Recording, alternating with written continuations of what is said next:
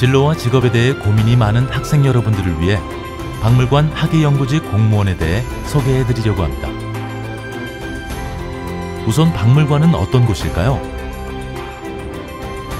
국제박물관 협의회에 따르면 박물관이란 교육 및 연구와 향유를 위해 인류 사회의 유형 및 무형유산을 수집, 보존, 연구하고 소통하여 전시하는 사회와 사회의 개발에 공헌하는 공중에 개방된 비영리의 영구적인 기관입니다.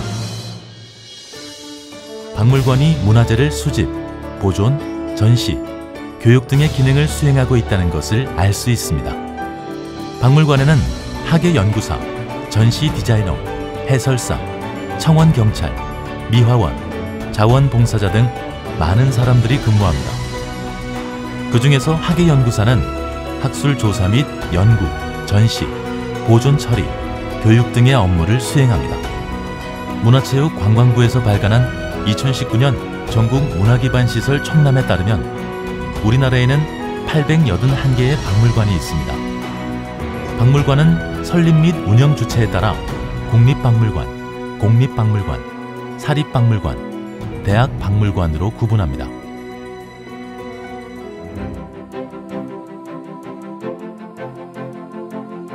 네, 학예연구사가 되시려면 관련 학과를 졸업하셔야 됩니다. 어, 관련된 학과로는 고고학, 역사학, 서지학, 민속학, 인류학 등등의 학과들이 있고요. 이런 학과를 졸업하신 후에 석사 학위를 취득하셔야 어, 시험의 기회가 부여됩니다.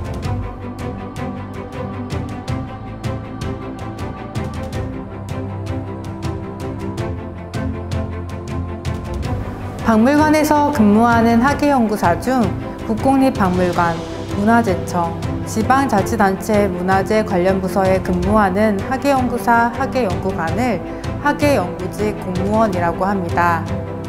학예연구직 공무원이 되려면 학예연구직 공무원 시험에 합격을 해야 합니다. 크게 국가직, 지방직 시험이 있습니다.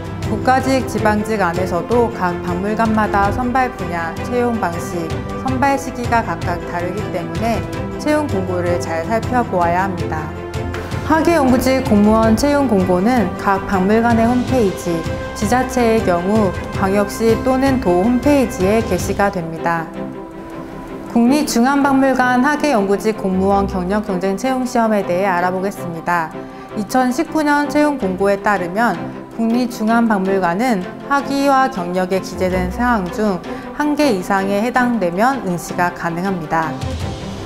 학위 요건은 국내외 대학 및 대학원 해당 학과에서 선발 예정 분야를 전공한 석사학위 이상 소지자입니다. 경력 요건은 임용 예정 직위의 업무 내용이 같거나 유사한 분야에서 경력이 3년 이상인 자입니다. 필기시험은 한국문화사 채용 분야별 전공 과목 등을 용수령으로 시험 봅니다.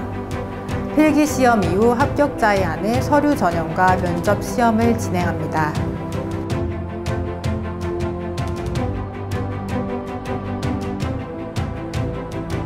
지방직 공무원 중 서울시, 경기도 등 지자체의 경우 학예 일반으로 선발하여 고고학, 역사학, 역사교육학, 문화재 관리학, 문화유적학, 박물관학을 전공하고 관련 분야 석사학위 이상을 취득하면 누구나 가능합니다. 시험 과목은 문화사, 한국문화사, 박물관학을 객관식으로 시험 봅니다.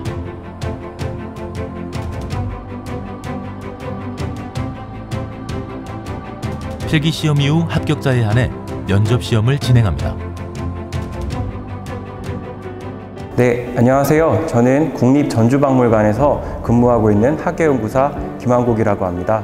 어, 저는 학교에서는 고고학을 전공을 했고요. 어, 박사과정까지 수료를 했고 현재는 어, 국립전주박물관의 고고학 관련된 학술조사, 연구, 전시 등등을 담당하고 있습니다. 예, 저는 어려서부터 역사나 고고학에 흥미가 있었습니다. 그래서 꾸준히 공부를 하다 보니 관련 학과를 선택하게 됐고요. 그 공부를 또 하다 보니까 학예연구사라는 직업을 알게 됐고 준비를 해서 현재 관련된 일을 하고 있습니다. 고고학이라는 학물은 어, 현재 남아있는 물질 자료, 그러니까 쉽게 말씀드리면 유물인데요. 유물이나 어, 어떤 사람들의 흔적을 통해서 당시의 사회상을 복원하는 학문이라고 말씀드릴 수 있겠습니다. 네, 저는 어, 대학 학부를 졸업하면서 관련 국립기관에서 일을 시작하게 되었습니다. 어, 6년 동안 거의 일을 했는데요. 그 사이에 어, 풍납토성이라고 하는 한성 백제 시기의 도성 유적이라든지 러시아의 발해성 유적 조사에 참석을 했고요. 이와 관련된 발굴 조사 보고서나 학술 연구 보고서를 발간하는데 어, 일익을 담당하였습니다. 그러면서 대학원을 다니면서 어, 석사학위를 취득하고 어, 박사학위까지 수료를 하고요. 시험을 준비해서 이렇게 입사하게 되었습니다. 안녕하세요. 국립전주박물관에서 교육 및 어린이 박물관 운영을 담당하고 있는 학예연구사 김혜정입니다.